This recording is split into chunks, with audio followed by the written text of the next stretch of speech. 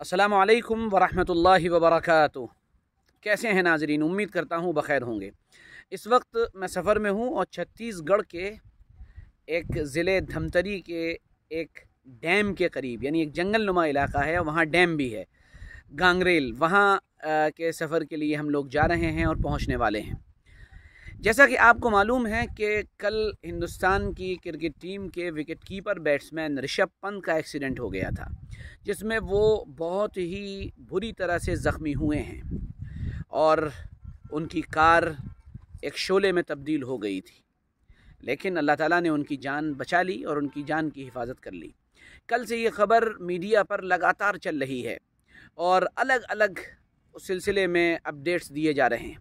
मैंने जब उनके बारे में पढ़ा और उनके सफ़र की दास्तान जानने की कोशिश की तो मुझे ये समझ में आया कि दरअसल हकीकत में करने वाली ज़ात तन तनहा अल्लाह की है, वो जिसे चाहता है, बचाता है और जिसे चाहता है, वो ख़त्म कर देता है। अल्लाह ताला के कब्ज़े कुदरत में सब कुछ है। अगर किसी का वक्त आ गया है तो कोई बड़ी से बड़ी ताकतवर कार या बड़ी से बड़ी ताकतवर चीज़ उसे बचा नहीं सकती है और अगर वक्त नहीं आया है तो इंसान बच ही जाता है। लेकिन यकीनी तौर पर कुछ ना कुछ इसबाब होते हैं, कुछ ना कुछ ज़राए होते हैं, कुछ ना कुछ वजूहत होती हैं जिनकी बुनियाद पर इंसान बच जाता है। और उन्हीं में से एक बड़ी अहम वजह नेकी होती है कि अगर किसी इंसान का नेकी का इरादा हो, अच्छे काम का इरादा हो तो फिर अल्लाह ताला उसकी बरकत से भी उसकी हिफाजत फरमा लेते हैं।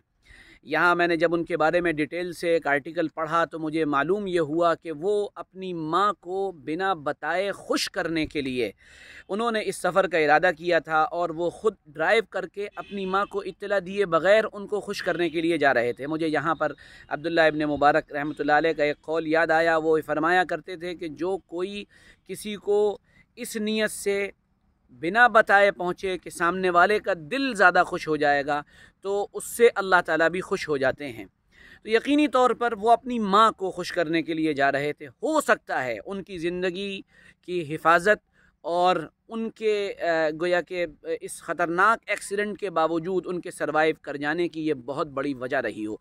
ये मुझे समझ में आई बात, सही भी हो सकती है, गलत भी हो सकती है, इसलिए मैंने चाहा मैं आपके साथ शेयर कर दूँ। इस पर आप अपने कमेंट ज़रूर दिएगा, बताइएगा कि मेरी इस बात से आप कितने मुतफ़ हैं। बहुत बहुत शुक्रिया, जजाकुमुल्लाह।